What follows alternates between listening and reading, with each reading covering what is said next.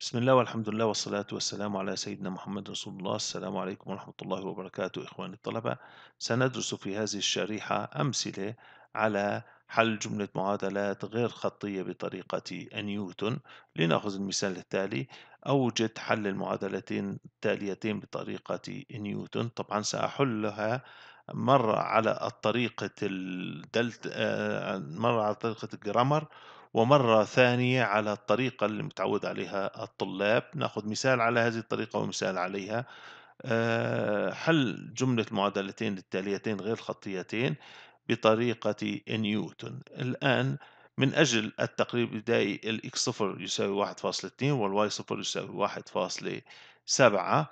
ننطلق بالحل نعوض القيم إكس صفر والواي صفر. في الجملة حتى نحصل على ال F إكس صفر واي صفر G إكس صفر واي صفر إذا نعوض في الجملة آه، جملة المعادلتين اللي حصلنا على هذا الشعاع هذا من جهة الأولى اللي هو عمود القيم الحرة.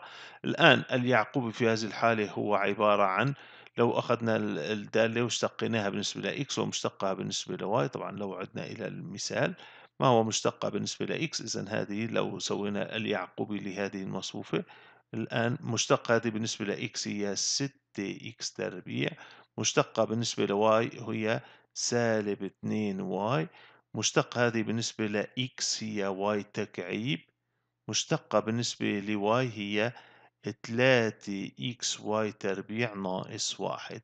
إذا هذه هذا هو اليعقوبي. ثم نعوض اليعقوبي في النقاط. إذا آه هذا هو اليعقوبي اللي شفناه. عوضنا الآن بالنقطة واحد فاصلة اثنين واحد فاصلة سبعة هنا الإكس فاصلة اثنين وهذه بواحد فاصلة سبعة وهنا أيضا حصلنا على هذه وجدنا أن المصفوفة هذه بعد فكة المحددة تبعها ليست صفر. الآن ومنه فإن شرط التقارب محقق نحسب المقدار سالب F على بهذه وسالب G بهذه. طبعا هذا العمود محسوب حسبناه في الفقرة السابقة اللي هو عبارة عن هذا المقدار هذا هو العمود. حسبناه إذا نضع هذا العمود هنا. والمشتق والمشتق أيضا محسوبين ها هو المشتق والمشتق المشتق والمشتق فقط علينا أن نعوض نأخذ هذا هو العمود اللي هو هذا ونحصل على هذه القيمة. أيضا نحسب هذا المقدار هذا محسوب هو عبارة عن هذا المقدار.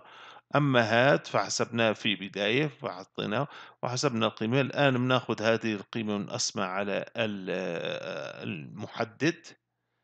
وبناخد هذه القيمة ونقسمها على المحدد فنحصل على قيمة ال H وقيمة ال K. الآن الإكس واحد ما هي إلا الإكس صفر زائد أش؟ أي واحد فاصلة اثنين زائد ال H اللي طلعت معي. والواي صفر هي آه، زائد K. الواي صفر هي واحد فاصلة سبعة وال K اللي طلعت معي هي هذه.